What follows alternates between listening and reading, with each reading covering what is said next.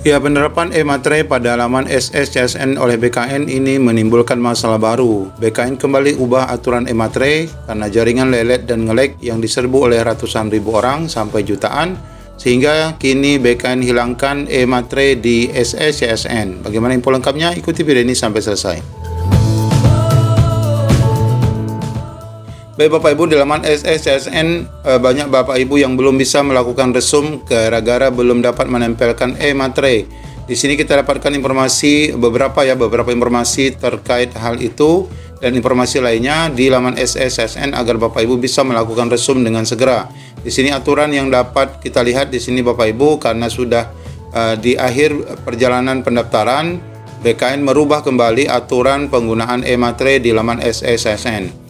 Ya, informasi pertama di sini kita lihat di laman SSN kembali kita uh, ingatkan Bapak Ibu, khusus untuk kategori khusus ini akan diberikan waktu sampai tanggal 29 September 2023. Namun menurut admin Bapak Ibu sebenarnya ini tanggal hanya warning ya. Tanggal ini hanya warning sedangkan sebenarnya pendaftaran tetap sampai akan akan ditutup sampai tanggal 9 Oktober. Mengapa, mengapa demikian ini dipasang sebagai warning agar rekan-rekan prioritas ini bergegas dan tidak terlalu lelet dalam mengakhiri resumnya.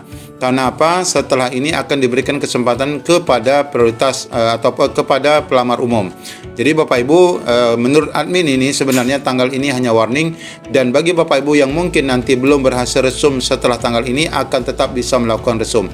Itu menurut pendapat admin ya.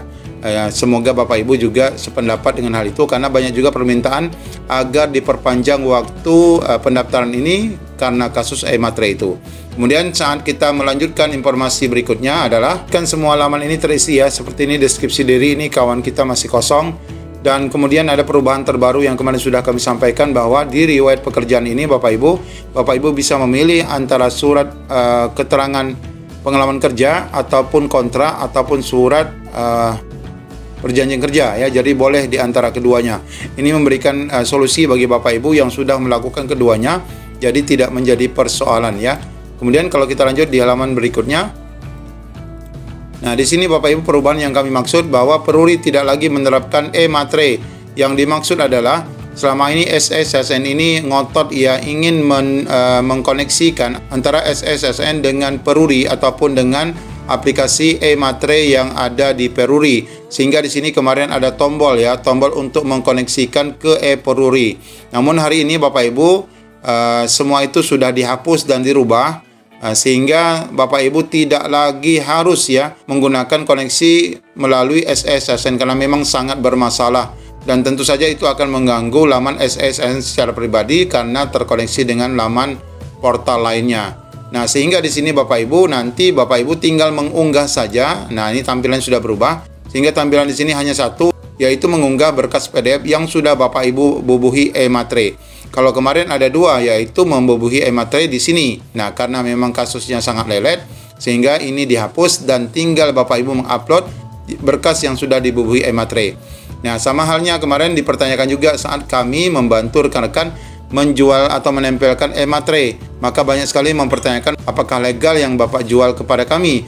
Nah, ini terjawab Bapak Ibu ya bahwa Bapak Ibu tidak jadi masalah e-matre itu nasional, Bapak Ibu bisa beli di mana-mana dan kebetulan kemarin kami membantu dan sampai sekarang masih membantu eh, rekan-rekan untuk menempelkan e-matre sehingga Bapak Ibu tinggal mengupload saja.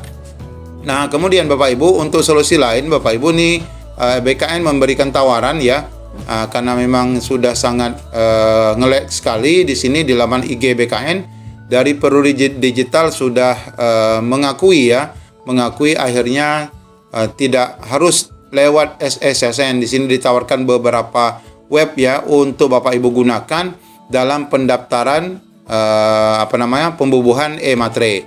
Di antaranya adalah boleh di matre online, kemudian matre live, kemudian toko toko Gramedia uh, e-matre, kemudian skill academy, kemudian emed, kemudian paper, materai, kemudian uh, apa lagi nih signing, kemudian apa lagi nih ya kami membantu agar bapak ibu muda bisa sign IT ID, kemudian face tisah dan sebagainya. Ini adalah beberapa web resmi yang bisa Bapak Ibu beli dan bubuhi sendiri. Setelah Bapak Ibu PDF-nya terbubuhi, nanti tinggal mengupload saja di laman SSCSN. Dan terbukti yang sudah kami bubuhi rekan-rekan semua berhasil resum dan mudah-mudahan menjadi CSN tahun ini Bapak Ibu.